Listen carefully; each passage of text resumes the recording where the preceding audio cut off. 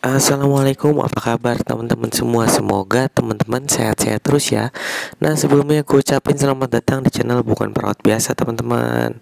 Ya, nah pada video kali ini gue mau pasang infus ya, cuman belum nggak langsung pasang infus ya.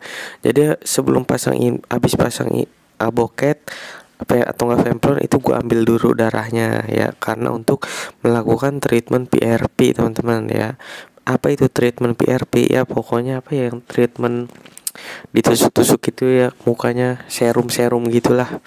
Ya jadi di sini gue mau ambil darah dulu ya tapi sekalian pasang aboket supaya satu kali tusuk. Ya ini kulitnya agak tebal teman-teman. Ya tapi masih keraba gitu. Jadi venanya masih keraba walaupun si kulitnya ini agak tebal nah itu kerabat di situ gede ya cuman gue nggak tahu nih jalurnya ke mana gitu ya. Nah akhirnya gue putusin pakai aboket nomor 24 ya. Sebenarnya pakai nomor 22 pun bisa apalagi eh, nomor 20 juga bisa. Cuman kan karena gue nggak tahu ya itu panjangnya semana vena aja bercabang di mana.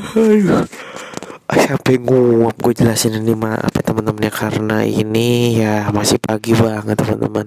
Hmm ya udah tuh teman-teman bisa lihat ya intinya kalau mau kita mau pasang impus harus yang teraba teman-teman. Kadang terlihat itu belum tentu teraba. Ya itu resiko gagal biasanya. Tapi kalau udah teraba terus besar ya udah. Intinya kita yakin aja teman-teman kalau di situ pembuluh darahnya ada dan besar.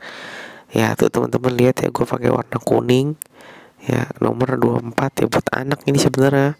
Ya udahlah kata gua. Set. Nah tuh. Tarik sedikit. Ya tuh keluar masukin lagi dorong. Gitu teman-teman. Nah gua masih bingung nih keluar nggak ya kata gue gitu eh ternyata keluar.